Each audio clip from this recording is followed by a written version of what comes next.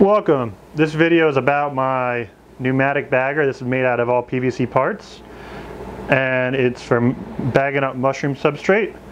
It measures out water and substrate at the same time. So I'm going to go ahead and bag out some bags real quick and then I'll go over the design and some of the features and how to set it all up. So it basically has a water meter that fills up a silo over here with water and then when I press the pneumatic control pedal, it's going to open up the knife valve here, filled with uh, fuel pellets and soybean hull. And then it's also going to open up the, the two inch knife valve over here, which is just water.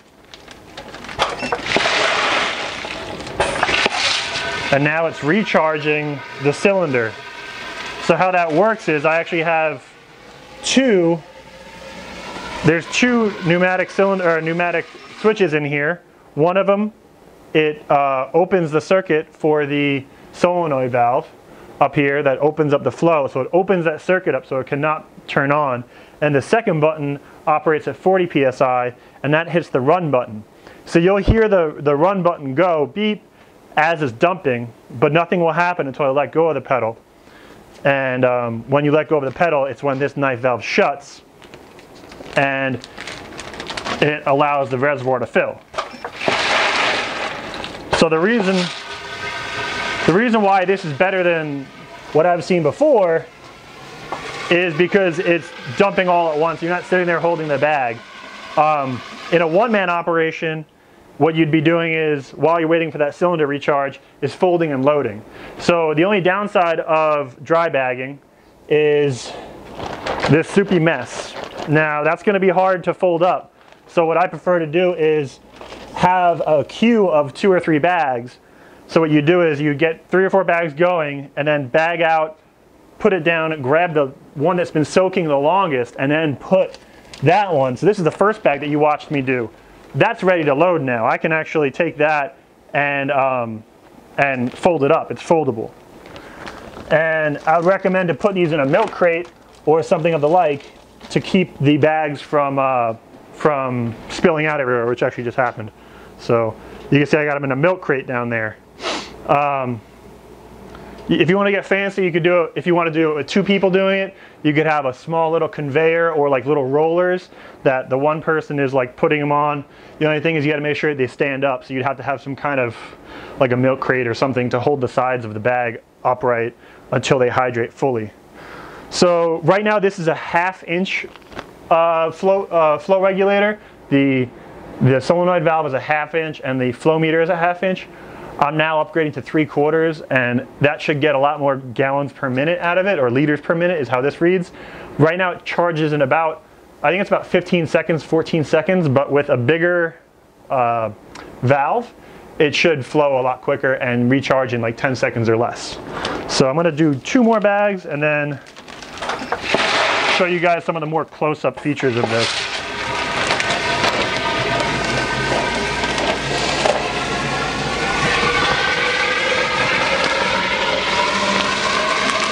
You don't want to go until you hear that beep beep when it's done, when the flow is done.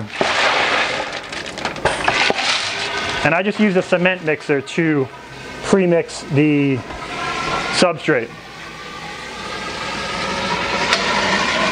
So you can see the inner workings a little bit better.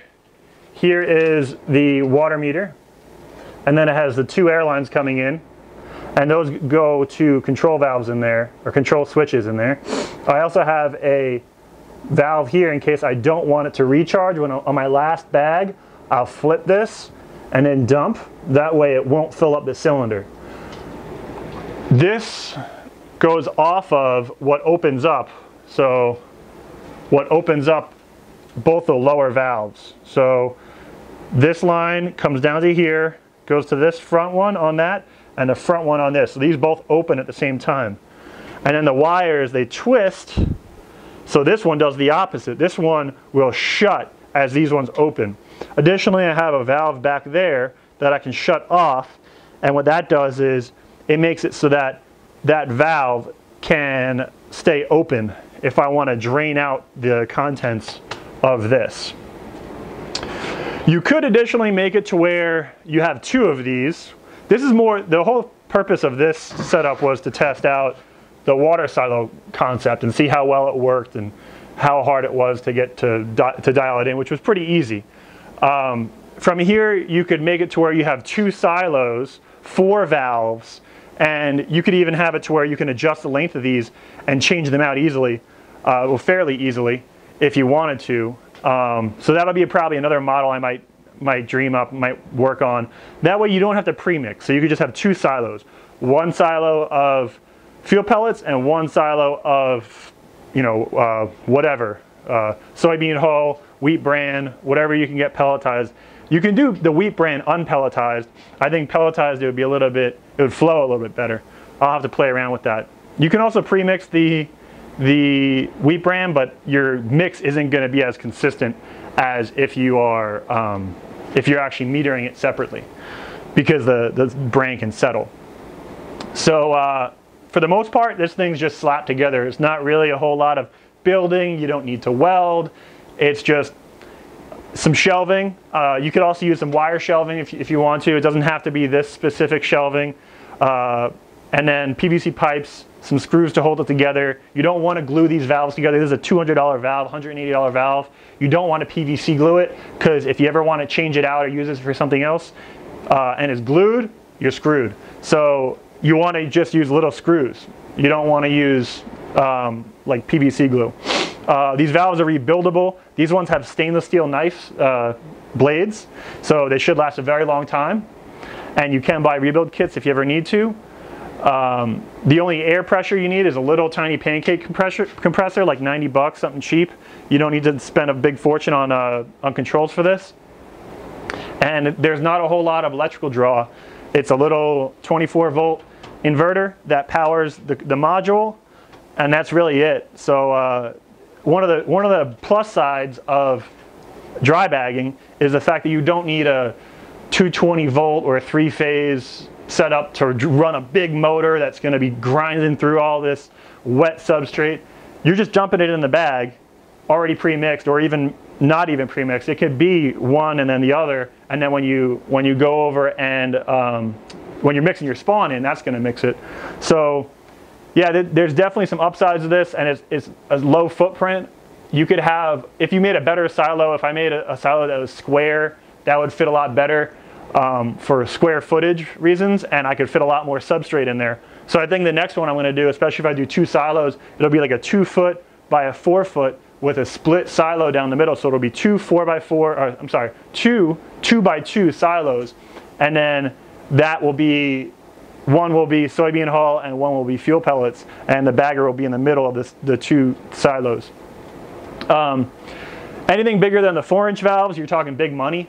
So I don't think you'd want to go with a, anything bigger than a four inch. Like the six inch valves are like $500 each, four or $500 each. So I think the four inch is that happy medium to where it'll work for pellets and it's cheaper than you know, having somebody fabricated or whatever. This whole getup is about $600, I want to say, in parts. Uh, 400 of it is just these two valves, and the control itself is about uh, 60 bucks, almost 100 bucks when you include the case, the uh, sensors, and all the fancy fittings and everything. Um, there's two options for the for the water. If you don't want to extend the wires, you could actually have the valve and sensor down here and then just run a pipe to up there, like a half inch PVC pipe or three inch PVC uh, pipe that goes to up there. Um, that would be for if somebody's like very, very afraid of soldering or anything like that, but you are gonna have to solder in the run button on the back of this. And I'll have another video on how to, how to wire in to the back of this to where you don't have to press the run button on the water meter. You can just have it to where when a, a cylinder actuates, that pressure sends the pressure into your, your control box and then that trips a switch that'll hit the run button for you. So from what from other people that I talked to about dry bagging, they were saying that one of the downsides is the fact that you'll get like sawdust on your bags. But you can see I'm dumping both at the same time and it's not getting sawdust on the bags. So that already fixed one of the drawbacks of dry bagging. You're not going to have that issue of uh, the sawdust. And the issue with the sawdust powder is that it doesn't let the bag self-seal. So self-seal, and this is the beginning of my stage two lab. Self-sealing is when the bags kind of form a vacuum, like right there, and then um, from there it kind of seals themselves. If they're very dirty, they won't do that. These didn't form the greatest seal, but it's not dirty. You know, you, the bottom line is that's that's a pretty clean seal right there. So, yeah, and uh, you can see the flow hood I'm, I'm setting up right now. I think I'm gonna do one horizontal, one vertical, kind of see how the difference is, see what I like.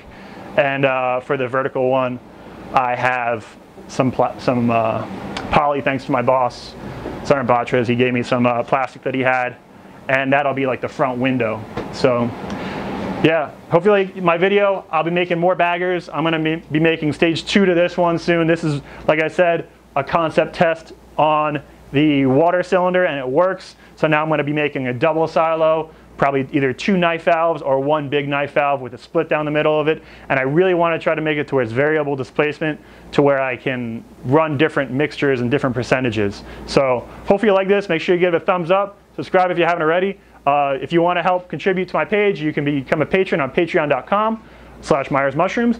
And if you want to check out mushroom equipment, including the parts I use to build this bad boy, you can check it out with the link below. Myers Mushrooms, uh, mykit.com slash Myers Mushrooms. And that's all the tried and tested and trialing uh, equipment that you can buy for mushroom growing. Thank you, and keep on mushrooming.